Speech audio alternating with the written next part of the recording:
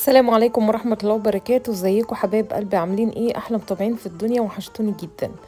النهاردة هقدم معاكم وصفة بسيطة في منتهى البساطة. هعمل معاكم الكنافة النابلسية بطريقة بسيطة جدا. زي ما أنتوا شايفين شايفين الجبنة بتمط وشكلها جميل إزاي؟ حاجة في منتهى الجمال واللذاذة وحاجة بسيطة قوي تعرفي تعمليها بإيديكي في وقت قليل خالص مش هتاخد مننا وقت.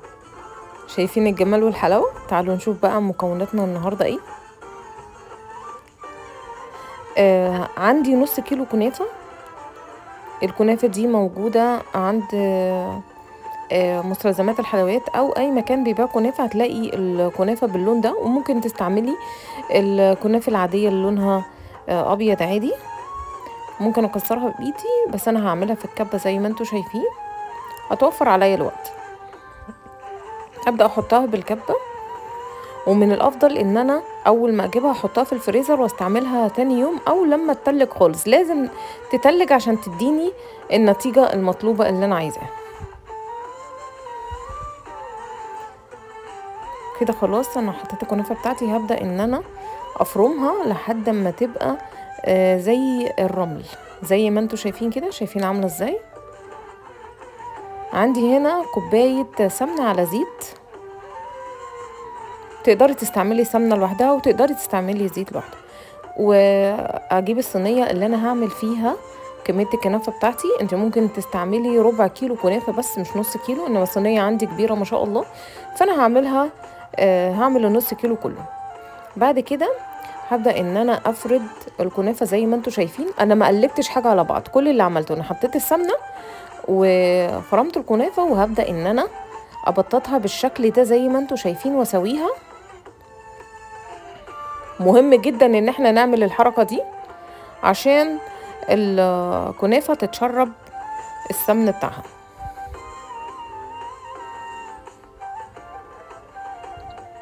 هبدأ أسويها زي ما أنتوا شايفين على قد ما أقدر كده.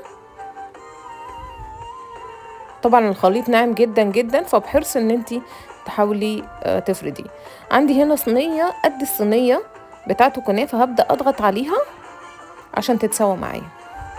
عندي هنا جبنة عكاوي زي ما أنتوا شايفين حطيتها في مية لحد ما الملح بتاعها راح وعندي جبنة موتزاريلا. هبدأ أوزعها على الوش. طبعا تستعملي الجبنة على قد كمية الكنافة اللي انت هتعمليها. هنا الصينية بتاعتي كبيرة فأنا هستعمل حبة جبنة كده محترمين عشان يقدوا الصينية. إنما انت لو عملتي صينية صغيرة طبعا هتستعملي جبنة أقل. هبدأ أوزعها على الوش زي ما أنتم شايفين كده. طبعا إن شاء الله هعمل لكم أصناف كنافة جديدة وكتيرة إن شاء الله. بس أنا قلت أعمل حاجة بسيطة معاكم مش هتاخد وقت خالص تقدري تحضريها في أي توقيت. مش تاخد منك وقت وانتي بتعملي الفطار آآ آآ على العشاء تعمليها للولاد. وصفة طبعا الكل بيحبها. وطبعا إحنا بنشتريها غالية جدا فإحنا نعملها في البيت بأبسط الطرق وبأقل الإمكانيات إن شاء الله.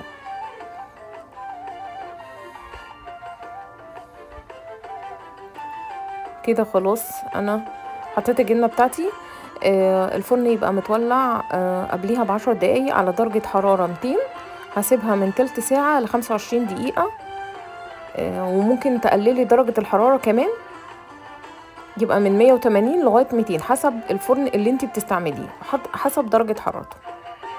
تعالوا بقى نعمل مع بعض الشربات. الكنافة النابلسية بتاخد شربات سخن يبقى هي بتبقى سخنة تطلع تتشرب بشربات سخن. عندي هنا كوبايتين مية. كوبايتين سكر. شريحة ليمون. وحطهم على النار لحد ما يغلوا لمدة ربع ساعة. عندي هنا كنافة ما شاء الله طلعت شايفين لونها وجمالها. حلوة جدا جدا جدا. آه هشوف صينية تبقى قد صينية بالظبط لأني هبدأ أقلبها بس يا ريت يكون بحرص. هبدأ أقلبها بقى.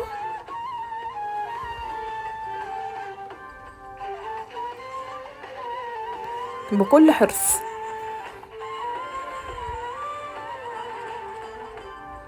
كده خلاص الشربات بتاعي استوى.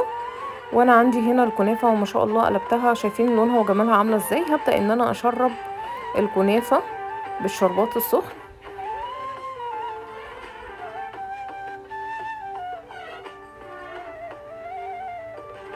واسيبها تهدى لمدة عشر دقايق وبعد كده اقطعها. حاجة في منتهى الجمال والبساطة والنظافة حاجة عاملاها بإيديكي هتبسط ولادك جدا وانت هتنبسطي من النتيجة إن شاء الله.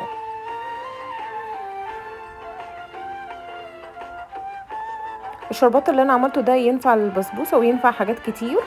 وإن شاء الله هعمل لكم فيديو آه الشربات التقيل والشربات الخفيف. وده يستخدم في إيه؟ وده يستخدم في إيه؟ إن شاء الله. تعالوا بقى نقطع مع بعض حتة كده. بصوا الجمال شايفين مطة الجبنة وجمالها؟ ومش قادرة أقول لكم على ريحتها عاملة إزاي. بصراحة في منتهى الجمال والبساطة وعجبتني جدا جدا وعجبت ولادي قوي. يا ريت تجربوا الوصفة وإن شاء الله هتعجبكم جدا. تقدري تزيني الوش بالمكسرات أو آه تستعمليها عادي كده من غير أي حاجة؟ عندي هنا فستق هزين الوش شوية.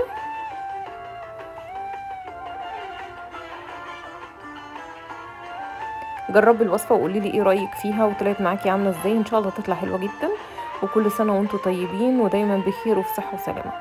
طبعا أنا عملت قبل كده القطايف آه وكانت نتيجتها حلوة جدا. يا ريت تجربيها. هسيب لك لينك الفيديو في صندوق الوصف. وإن شاء الله هعمل حاجات كتيرة وجديدة. السلام عليكم ورحمة الله وبركاته.